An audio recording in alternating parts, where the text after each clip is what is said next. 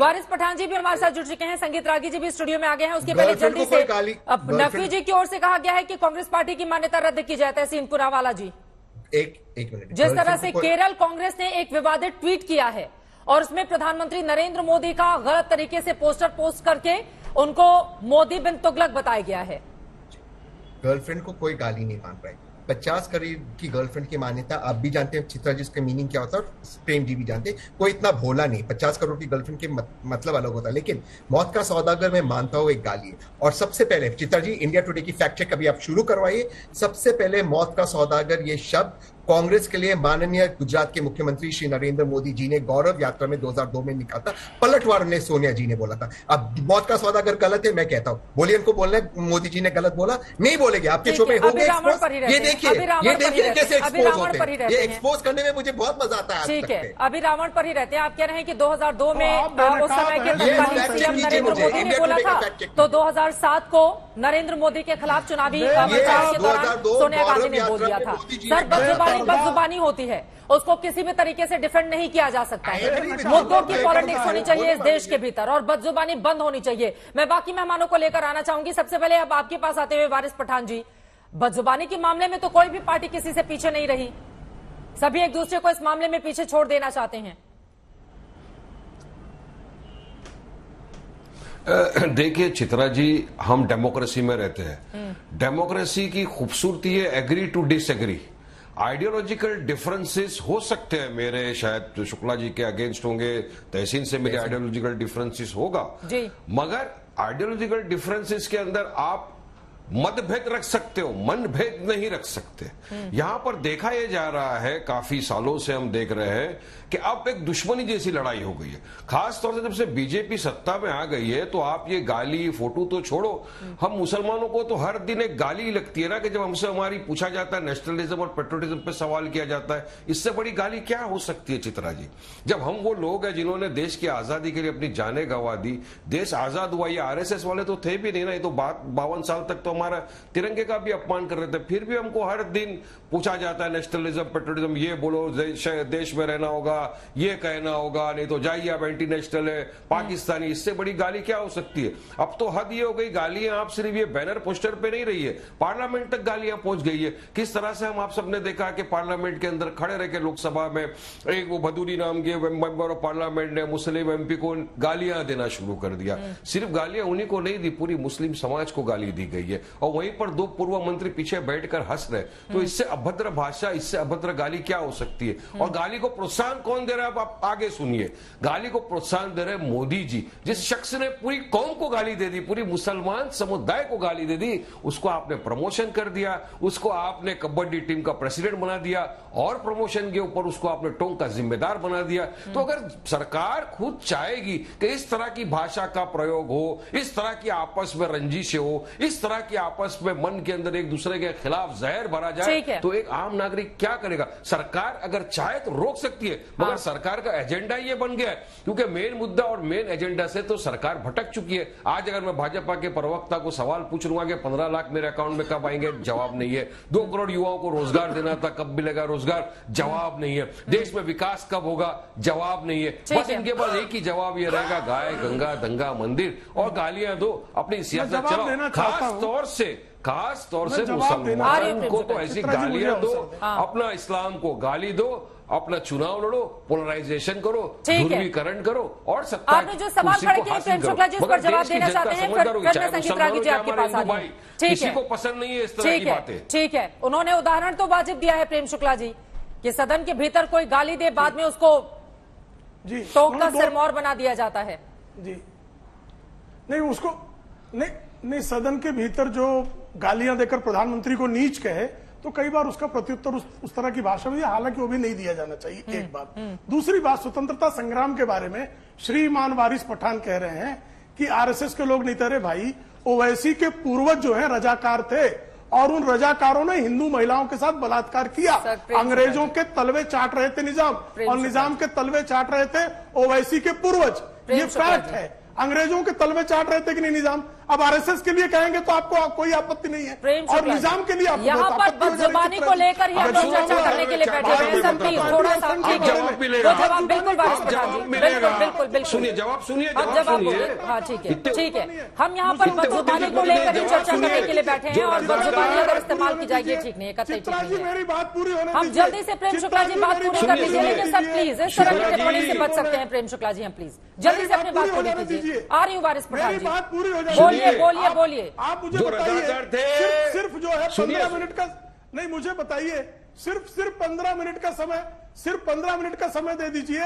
हम सारे हिंदुओं को निपट लेंगे पुलिस हटा दीजिए। हाँ। ये वारिस पठान कहते हैं। ये नफरत के वाक्य है कि मोहब्बत के वाक्य है? हाँ। हिंदुओं का नरसंहार करने की बात करने वाक्य वाले है। कौन वारिस मना पठान। करेगा इससे? अब मोहब्बत पर भी भाषण दें।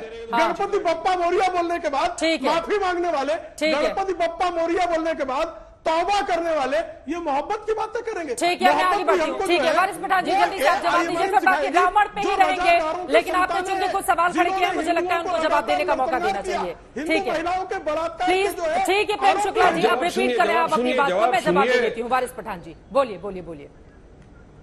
जी। जवाब सुनिए अभी इन्होंने कहा रजाकार तो सुनिए शुक्ला जी जो रजाकार थे वो चले गए और जो वफादार थे वो रह गए यहाँ पे और वफादार वारिस पठान आपके चैनल पे बैठ के बीजेपी वालों की आँखों में आके डाल के इनको बराबर जवाब दे रहा है और कहीं और जो ब्रिटिशरों के अंग्रेज़ों के तलवे चाट रहे थे ना आरएसएस की वाले माफीनामे पे माफीनामे जो लिखे देखिए चित्रा जी बराबर बात नहीं आप प्रेम शुक्ला जी हाँ। ठीक है प्रेम शुक्ला जी उनको बोल लेने दीजिए। आपने आपने ही शुरू किया रजाकार आप उस पर जवाब भी सुन लीजिए। ठीक है ठीक अच्छा ठीक है ठीक है ठीक है। बाकी लोग भी इंतज़ार कर सुनिए लारी साहब ये ये जी भेजी। आरएसएस वाले है सुनिए अभी प्रमोशन हुआ है प्रेम शुक्ला अभी प्रमोशन हुआ आर एस एस का चट्टी से फुल पेंट पे आ गए हैं। सुनिए क्या कर रहे थे बावन साल है। मैं तो बहुत हैरान होती हूँ एक सेकंड एक सेकंड सर मैं तो बहुत हैरान होती हूँ। ज़ुबान है। पर यहाँ डिस्कशन हो रहा है और जो लोग प्रवक्ता। बनकर आए हुए हैं वही इतनी बदजुबानी कर रहे हैं सर तो प्लीज़ ये बोलूँगा नहीं नहीं बोलने पर बिल्कुल नहीं आएँगे आप वारिस पठान साहब बोलने के लिए आप अपनी। एमआईएम की रैली पर दोनों की आवाज़ डाउन कीजिए कीजिए। संगीत रागी जी आपके पास आते हुए प्लीज़ ये तरीका ठीक नहीं है प्रवक्ता यहाँ पर आए हैं बदजुबानी पर डिबेट करने के लिए उसको डिफेंड करने के लिए यहाँ पर खुद ही बदजुबानी शुरू करने की इजाज़त नहीं दी जा सकती और जिसको बदजुबानी करनी है प्लीज़ आप लोग अपने अपनी चुनावी रैलियों में कर सकते हैं, अपने अपने ट्विटर या सोशल मीडिया अकाउंट पर कर सकते हैं। लेकिन यहाँ पर आपके पास आते हुए संगीत रागी जी, कांग्रेस पार्टी की ओर से 1945 का एक पोस्टर कार्टून की तस्वीर जारी करते हुए कहा गया है कि सावरकर के निशाने पर तब भी गांधी और बीजेपी आरएसएस के निशाने पर आज भी गांधी है। रावण वाला पोस्टर जारी करने की क्या ज़रूरत थी? देखिए, पहली बात तो कि जो महात्मा गांधी हैं, उनकी तुलना आप कम से कम इस गांधी से तो बिल्कुल ही मत कीजिए। और वो समय एक आइडियोलॉजिकल लड़ाई थी। वो एक आप सोचिए कि 4 मई 1940 को गांधी लिखते हैं हरिजन में लिखते हैं कि एक Muslim a Muslim rule will always be preferable to me than the British rule in India वैसी स्थिति में सावरकर उनके क्रिटिसिज्म के लिए खड़े होते हैं।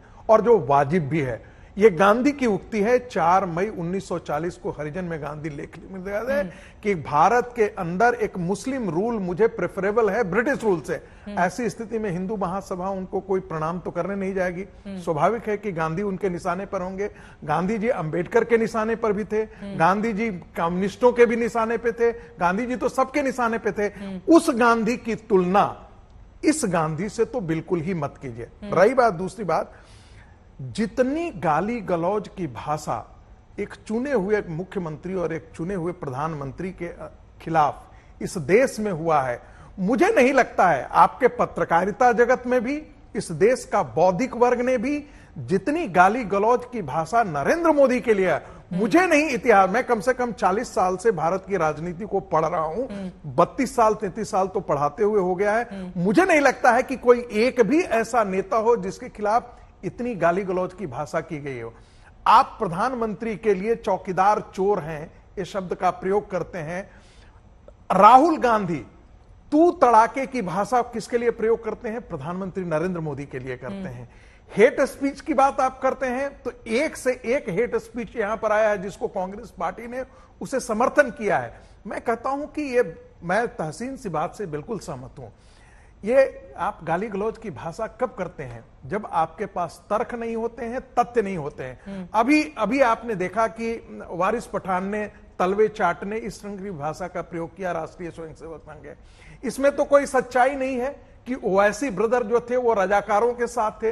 रजाकार और हैदराबाद के निज़ाम पाकिस्तानी माइंड वो पाकिस्तान के साथ जाने से नहीं नहीं लेकिन इस प्रकार की भाषा का प्रयोग इनको नहीं करना चाहिए। हाँ। और यदि यदि प्रेम शुक्ला जी जो जवाब दे रहे हैं तो नहीं नहीं नहीं पाकिस्तान में मजबूरी से नहीं जा सके। ये मजबूरी से नहीं जा तो सके। ऐसा नहीं था। इनके वंशज चाहते थे कि पाकिस्तान चले जा नहीं पाए को तो दोनों लोगों को दिखाइए को ये इनके इनके। ओवैसी ओवैसी के ओवैसी के ओवैसी के पूर्वज पाकिस्तान परस्त थे। ये सच्चाई है। वो अपनी मजबूरी से यहाँ रहे हैं। इसलिए वारिस पठान तो अपने सर्टिफिकेट देना राष्ट्रवाद हो को गया ना लेकर संगीत रागी जी। ये सर्टिफिकेट देना हो गया ना कि मजबूरी से यहाँ पर रहे हैं। अरे भाई, जो थे वो यहाँ पर रह गए जिनको जाना था वो चले गए आगे बढ़ते हैं। आगे बढ़ते हैं रावण पर ही रहते हैं रावण पर ही इतिहास में झाँक कर नहीं देखना है वर्तमान में रहना है राजनीति इस वक्त सिर पर है दो तीन राज्यों की और वहाँ पर जिस तरह की बदजुबानी सामने आ रही है उस पर भी चर्चा करेंगे। उसमें इतना इतिहास में नहीं जाते हैं। तारिक अहमद लारी जी लेकिन संगीत रागी ने जो सवाल उठाया एक चुने हुए मुख्यमंत्री नरेंद्र मोदी की ही बात कर रहे थे वो और उसके बाद प्रधानमंत्री। उनके खिलाफ अब शब्दों का जितना इस्तेमाल किया गया है विरोधी दलों की ओर से इतिहास उठाकर देख लीजिए शायद ही किसी प्रधानमंत्री को इतनी गाली पड़ी होगी। इस बात से तो इनकार नहीं किया जा सकता जो वो बातें कह रहे हैं। चलिए मैम हम मान लेते हैं कि प्रधानमंत्री जी को गाली पड़ी। ज़िंदा है। यहाँ तो मरे हुए प्रधानमंत्रियों की कब्र खोदी जा रही है। रोज सवेरे उठते हैं तो नेहरू जी को गाली देना चालू करते हैं और रात में जब सोते हैं तब तक नेहरू जी को गाली देते हैं। कोई नई चीज़ तो हो नहीं रही है।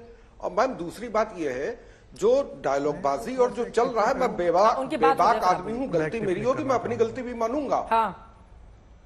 बोलिए बोलिए। मैं अपनी गलती भी मानता हूँ कि हम लोग भी गलती किए हूँ ऐसा नहीं है। ऐसा नहीं है कि मैं सिर्फ़ एक आदमी की गलती कहूँगा हम्म। आज जो आसाम के चीफ मिनिस्टर ने कहा कि हमको हिंदू मुसलमान मियाटिया का वोट नहीं चाहिए हाँ। ये डायलॉग तो 1971 की वॉर के बाद इंदिरा गांधी जी भी बोल चुकी हैं कलकत्ता हाँ। के मैदान में कि मुझे मियाटिया का वोट नहीं चाहिए हाँ। Basically BJP is following Congress footsteps हाँ। जो कांग्रेस ने किया है वही आज काट रही है ऐसा नहीं है कि नहीं काट रही है हम्म। ये बदजुबानी आज के दौर से नहीं जमाने से चल रही है हम्म। आज बढ़ गई है आज बढ़ गई है।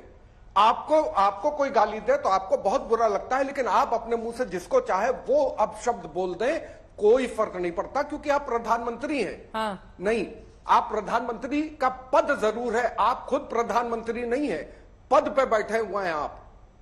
उसका लिहाज करना चाहिए कि आप किस पद पर बैठे हैं। क्या ये बहुत अच्छा था लोग रेनकोट पहन के प्रधानमंत्री को अलग अलग करके देखा जा सकता है क्या लाली साहब? जो उस पद पर बैठा है वही तो प्रधानमंत्री हुआ। ये तो नई ही परिभाषा कर रहे हैं बिल्कुल देखना चाहिए। हाँ। कैसे? मैम बिल्कुल देखना चाहिए। मैंने फिर वही आपसे कहा कि प्रधानमंत्री पद पे कौन व्यक्ति बैठा है वो भी देखना पड़ता है और किस पद पे कौन व्यक्ति बैठा है वो भी देखना पड़ता है। अरे पद पर वो आदमी तभी बैठता है लारी साहब आप मेरा सवाल सुनिए। है। पद पर कोई व्यक्ति तभी बैठता है लोकतंत्र में जब उसको जनता चुनकर वहाँ पर बैठाती है। वरना तो आप और हम जैसे तमाम लोग चाहेंगे कि उस पद पर बैठ जाए। ऐसा नहीं होता है ना लारी साहब? क्योंकि जनता ने चुना है इसलिए उस पद पर बैठे हैं। आपके भी 2012 में अखिलेश यादव को जनता ने चुनकर उत्तर प्रदेश का मुख्यमंत्री बनाया था। उसके बाद सत्रह बाईस में योगी आदित्यनाथ को बनाया। तो आप ये कहेंगे नहीं नहीं प्रधानमंत्री पद को अलग देखा जाए और जो व्यक्ति है उसको अलग देखा जाए। ऐसा कहाँ हो सकता है? एक ही सिक्के के दोनों पहलू होते हैं दोनों। देखिए- एक बार उनकी बात हो जाए। एक बार उनकी बात हो जाए। तो कलकत्ता में ममता बनर्जी थी, जी थी तो हाँ। उनको ओ दीदी ओ दीदी करके बात करना बहुत अच्छा था। एक प्रधानमंत्री के पद पर बैठे हुए व्यक्ति ने एक प्र, प्रेजेंट चीफ मिनिस्टर के बारे में जिस हिसाब से बात कही वो बहुत अच्छी बात थी। आपने खुद अपने पद की गरिमा ना संभालते हुए आपने अपनी गरिमा गिराई है। प्रधानमंत्री की गरिमा तो वैसी रहेगी लेकिन आपने अपनी गरिमा गिराई है।